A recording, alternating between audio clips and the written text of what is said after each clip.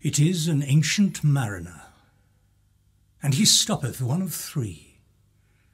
By thy long grey beard and glittering eye, now wherefore stopp'st thou me? The bridegroom's doors are open wide, and I am next of kin. The guests are met, the feast is set. Mayst hear the merry din. He holds him with his skinny hand. There was a ship, quoth he. Hold off, unhand me, greybeard loon! Eftsoons his hand dropped he. He holds him with his glittering eye. The wedding guest stood still and listens like a three years child. The mariner hath his will. The wedding guest sat on a stone, he cannot choose but hear. And thus spake on that ancient man, the bright-eyed mariner. The ship was cheered, the harbour cleared, merrily did we drop below the kirk, below the hill, below the lighthouse top. The sun came up upon the left, out of the sea came he, and he shone bright, and on the right went down into the sea. Higher and higher every day, till over the mast at noon the wedding guest here beat his breast, for he heard the loud bassoon. The bride hath paced into the hall, red as a rose is she, nodding their heads before her go the merry minstrelsy. The wedding guest he beat his breast, yet he cannot choose but hear. And thus spake on that ancient man, the bright-eyed mariner.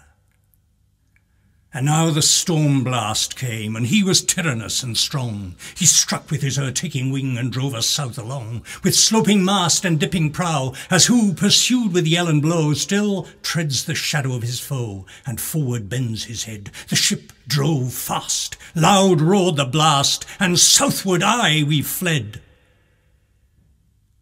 And now there came both mist and snow, and it grew wondrous cold and ice mast high came floating by, as green as emerald. And through the drifts the snowy cliffs did send a dismal sheen, nor shapes of men nor beasts we ken. The ice was all between. The ice was here, the ice was there, the ice was all around. It cracked and growled and roared and howled like noises in a swound. At length did cross an albatross. Thorough the mist it came. As if it had been a Christian soul, we hailed it in God's name. It ate the food it ne'er had eat, and round and round it flew. The ice did split with a thunder fit. The helmsman steered us through, and a good south wind sprang up behind. The albatross did follow, and every day, for food or play, came to the mariner's hollow. In mist or cloud, on mast or shroud, it perched for vespers nine, whiles all the night, through the fog smoke white, glimmered the white moonshine. God save the ancient mariner from the fiends that plague thee thus. Why look'st thou so? With my crossbow I shot the albatross. The sun now rose upon the right. Out of the sea came he, still hid in mist, and on the left went down into the sea. And a good south wind still blew behind, but no sweet bird did follow, nor any day for food or play came to the mariner's hollow.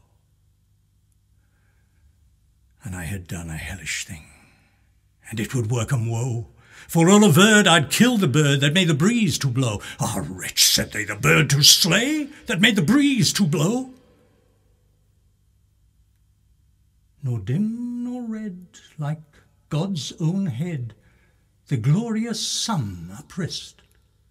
Then all averred I'd killed the bird that brought the fog and mist.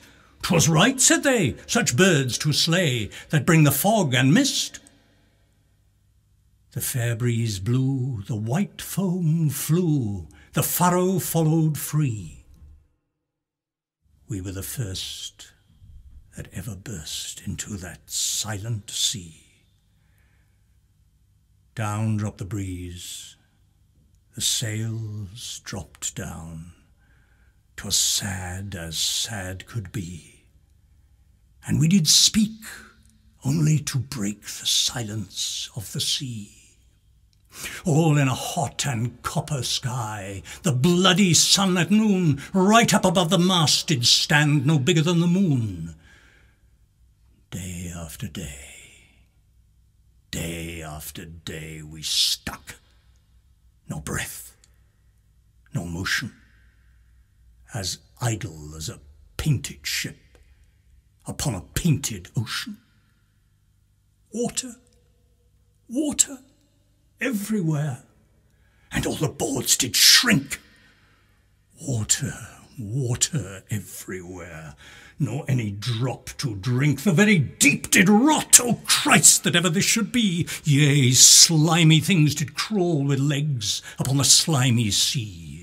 About, about in reel and rout the death fires danced at night. The water like a witch's oils burnt, green and blue and white, and some in dreams assured were of the spirit that plagued us so. Nine fathom deep he had followed us from the land of mist and snow. And every tongue through utter drought was withered at the root. We could not speak, no more than if we had been choked with soot. Ah, well a day! What evil looks had I from old and young! instead of the cross, the albatross about my neck was hung. There passed a weary time. Each throat was parched and glazed each eye. A weary time, a weary time, how glazed each weary eye when looking westward, I beheld a something in the sky. At first it seemed a little speck, and then it seemed a mist. It neared and took at length a certain shape, I wist, a speck, a mist, a shape, I wist. And still it neared and neared, as if it dodged a water sprite. It plunged and tacked and veered. With throats unslaked, with black lips baked. We could nor laugh nor wail. Through utter drought, all dumb we stood. I bit my arm, I sucked the blood and cried, A sail, a sail. With throats unslaked, with black lips baked, agape they heard me call, Gramercy, they for joy did grin, and all at once their breath drew in as they were drinking all. See, see, I cried, it tacks no more hither to work us wheel. Without a wind, without a tide, it steadies with upright keel. The western wave was all ablaze. The day was well nigh done. Almost upon the western wave rested the broad, bright sun when that strange shape drove suddenly betwixt us and the sun, and straight the sun was flecked with bars. Heaven's mother send us grace, as if through a dungeon grate he peered with broad and burning face. Alas, thought I, and my heart beat loud, how fast she nears and nears. Are those her sails that glance in the sun like restless gossameres? Are those her ribs, through which the sun did peer as through a grate? And is that woman all her crew? Is that a death? And are there two? Is death that woman's mate? Her lips were red, her looks were free, her locks were yellow as gold. Her skin was as white as leprosy. The nightmare life in death was she, who thicks man's blood with cold. The naked hulk alongside came, and the twain were playing dice. The game is done, I've won, I've won, quoth she, and whistles thrice. The sun's rim dips, the stars rush out, at one stride comes the dark, with far heard whisper off the deep, off shot the spectre bark. We listened, and looked sideways up, fear at my heart as at a cup my life blood seemed to sip. The stars were dim, and thick the night. The steersman's face by his lamp gleamed white. From the sails the dew did drip, till clomb above the eastern bar the horned moon, with one bright star within the nether tip. One after one, by the star-dogged moon, too quick for groan or sigh, each turned his face with a ghastly pang and cursed me with his eye. Four times fifty living men, and I heard nor sigh nor groan. With heavy thump, a lifeless lump, they dropped down one by one. Their souls did from their bodies fly. They flew to bliss or woe. And every soul it passed me by like the whiz of my crossbow. I fear the ancient mariner. I fear thy skinny hand, for thou art lang, long, and lank and brown, as is the ribbed sea sand. I fear thee in thy glittering eye, and thy skinny hand so brown. Fear not, fear not, thou wedding guest, this body dropped not down. Alone, alone, all, all alone, alone on a wide, wide sea. And never a saint took pity on my soul in agony. Those many men, so beautiful, and they all dead did lie, and a thousand, thousand slimy things lived on, and so did I. I looked upon the rotting sea and drew my eyes away. I looked upon the rotting deck, and there the dead men lay. I looked to heaven and tried to pray, but wherever a prayer had gushed, a wicked whisper came and made my heart as dry as dust. I closed my lids and kept them close, but the balls like pulses beat, for the sky and the sea and the sea and the sky lay like a load on my weary eye, and the dead were at my feet. The cold sweat melted from their limbs, nor rot nor reek did they, the look with which they looked on me had never passed away. An orphan's curse would drag to hell a spirit from on high, but oh, more horrible than that is the curse in a dead man's eye. Seven days, seven nights, I saw that curse, and yet I could not die. The moving moon went up the sky, but nowhere did abide. Softly she was going up, and a star or two beside. Her beams bemocked the sultry main like April hoarfrost spread. But where the ship's huge shadow lay, the charmed water burned alway a still and awful red. Beyond the shadow of the ship, I watched the water snakes. They swam in tracks of shining white, and when they reared, the elfish light fell off in hoary flakes. Within the shadow of the ship I watched their rich attire, blue, glossy green, and velvet black. They coiled and swam, and every track was a flash of golden fire. Oh, happy living things! No tongue their beauty might declare. A spring of love gushed from my heart, and I blessed them unaware. Sure, my kind saint took pity on me, and I blessed them unaware.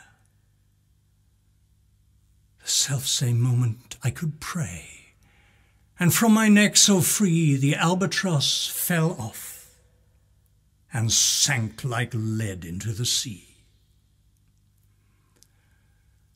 Oh, sleep, it is a gentle thing, beloved from pole to pole.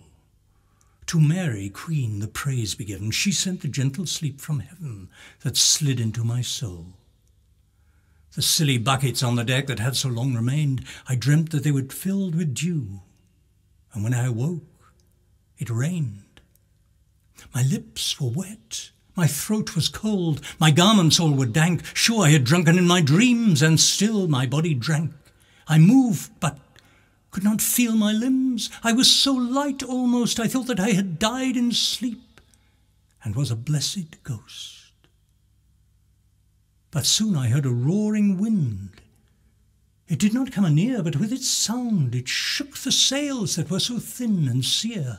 The upper air burst into life, and a hundred fire flags sheen. To and fro they were hurried about, and to and fro and in and out the wan stars danced between and the coming wind did roar more loud, and the sails did sigh like sedge, and the rain poured down from one black cloud.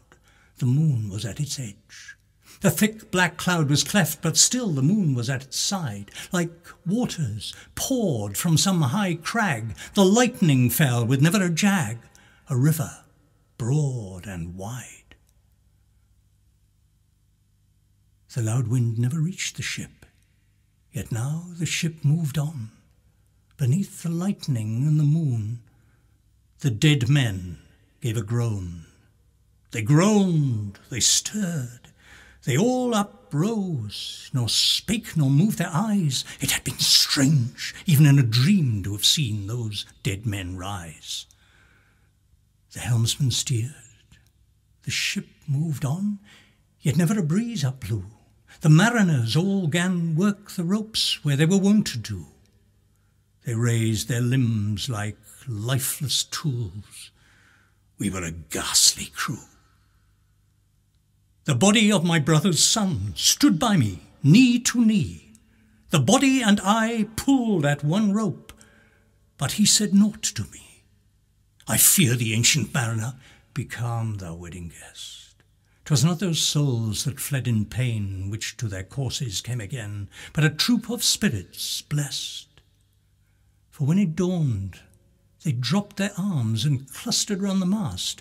Sweet sounds rose slowly through their mouths, and from their bodies passed. Around, around flew each sweet sound, then darted to the sun. Slowly the sounds came back again, now mixed, now one by one.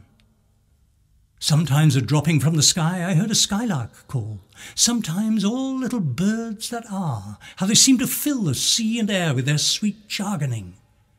And now 'twas like all instruments, now like a lonely flute, and now it is an angel's song that makes the heavens be mute.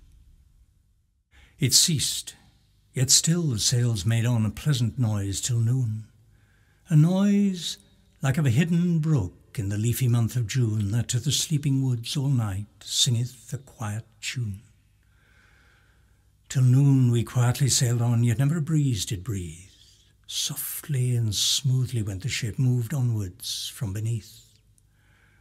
Under the ship nine fathom deep from the land of mist and snow the spirit slid, and it was he that made the breeze to blow. At noon the sails left off their tune, and the ship stood still also. The sun right up above the mast had fixed her to the ocean, but in a minute she gan stir with a short, uneasy motion, backwards and forwards half her length, with a short, uneasy motion. Then, like a pawing horse let go, she made a sudden bound. It flung the blood into my head, and I fell down in a swound. How long in that same fit I lay, I have not to declare, but ere my living life returned, I heard, and in my soul discerned two voices in the air. Is it he? cried one.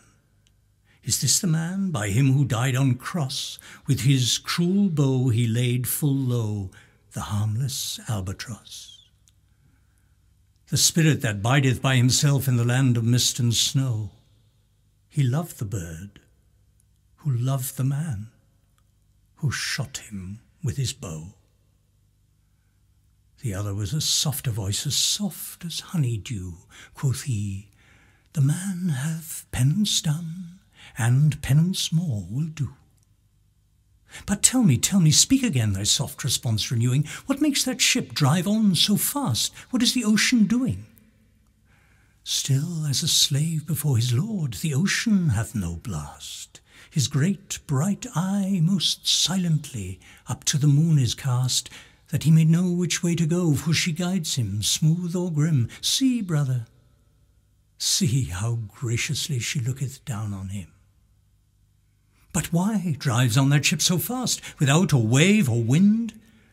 The air is cut away before, and closeth from behind. Fly, brother, fly more high, more high, or we shall be belated.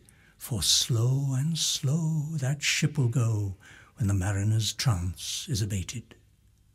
I woke, and we were sailing on as in a gentle weather. 'Twas night, full night, the dead men stood together. They stood together on the deck for a charnel dungeon fitter, each fixed on me their stony eyes, that in the moon did glitter. The pang, the curse with which they died, had never passed away. I could not move them, my eyes from theirs, nor turn them up to pray. And now this spell was snapped. Once more I viewed the ocean green, and looked far forth, but little saw of what had else been seen, like one that on a lonesome road doth walk in fear and dread, and having once turned round, walks on, and turns no more his head, because he knows a frightful fiend doth close behind him dread. But soon there breathed a wind on me, nor sound nor motion made. Its path was not upon the sea, in ripple or in shade. It raised my hair, it fanned my cheek like a meadow gale of spring. It mingled strangely with my fears, yet it felt like a welcoming. Swiftly, swiftly flew the ship, yet she sailed softly too. Sweetly, sweetly blew the breeze, on me alone it blew. Oh, dream of joy! Is this indeed the lighthouse top I see? Is this the kirk? Is this the hill? Is this mine own country? We drifted o'er the harbour bar, and I with sobs did pray. Oh, let me be awake, my God!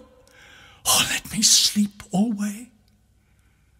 The harbour bay was clear as glass, so smoothly it was strewn, and on the bay the moonlight lay, and the shadow of the moon.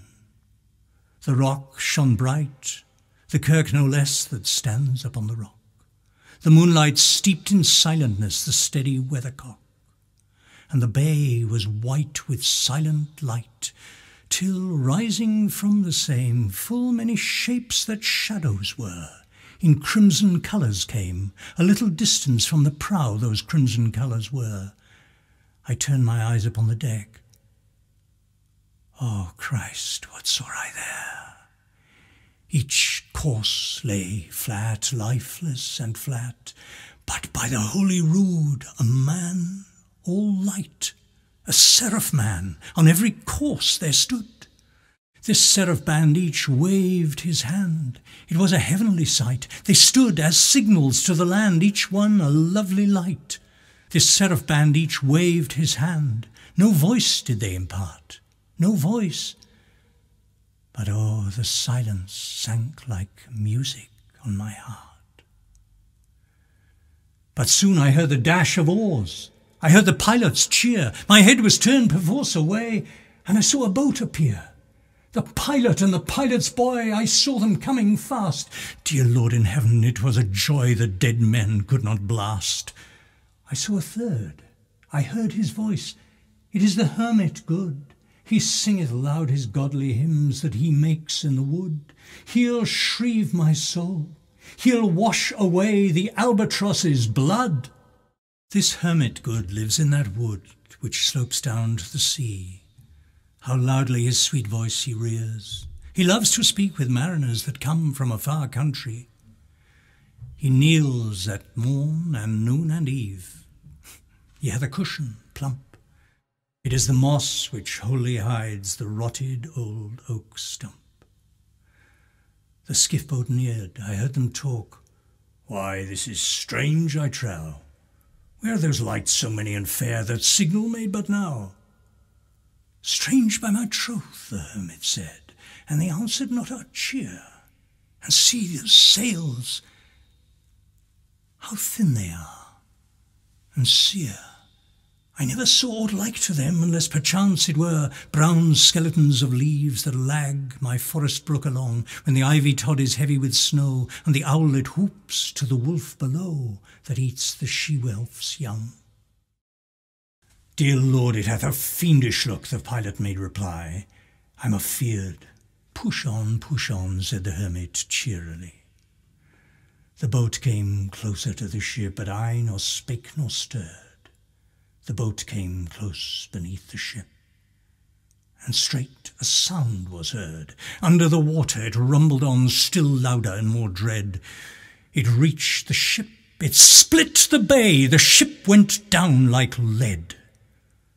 Stunned by that loud and dreadful sound, which sky and ocean smote, like one that hath been seven days drowned, my body lay afloat, but swift as dreams myself I found within the pilot's boat. Upon the whirl where sank the ship, the boat spun round and round, and all was still, save that the hill was telling of the sound. I moved my lips, the pilot shrieked and fell down in a fit. The holy hermit raised his eyes and prayed where he did sit. I took the oars. The pilot's boy, who now doth crazy go, laughed long and loud, and all the time his eyes went to and fro. Aha, said he, full plain I see the devil knows how to row. And now, all in mine own country, I stood on the firm land. The pilot stepped forth from the boat, but scarcely he could stand. Oh, shrieve me, shrieve me, holy man! The hermit crossed his brow. Say quick, he said, I bid thee say, what manner of man art thou? Forthwith this frame of mine was wrenched with a woeful agony, which forced me to begin my tale, and then it left me free. Since then, at an uncertain hour that agony returns, until my dreadful tale is told, this heart within me burns. I pass like night from land to land. I have strange power of speech. The moment that his face I see, I know the man that must hear me. To him my tale I teach. What loud uproar bursts from that door? The wedding guests are there. And in the garden bower the bride and bridesmaids singing are. And hark, the little vesper bell which biddeth me to prayer. O wedding guest, this soul hath been alone on a wide, wide sea. So lonely 'twas that God himself scarce seemed there to be. Oh, sweeter than the marriage feast, tis sweeter far to me to go together to the kirk with a goodly company to go together to the kirk, and all together pray, while each to his great Father bends, old men and babes and loving friends and youths and maidens gay. Farewell, farewell. But this I tell to thee, thou wedding guest. He prayeth well who loveth well, both man and bird and beast. He prayeth best who loveth best all things, both great and small. For the dear God who loveth us, he made and loveth all. The mariner, whose eye is bright, whose beard with age is hoar, is gone. And now the wedding guest turned from the bridegroom's door. He went like one that hath been stunned, and is of sense forlorn. A sadder and a wiser man he rose the morrow morn.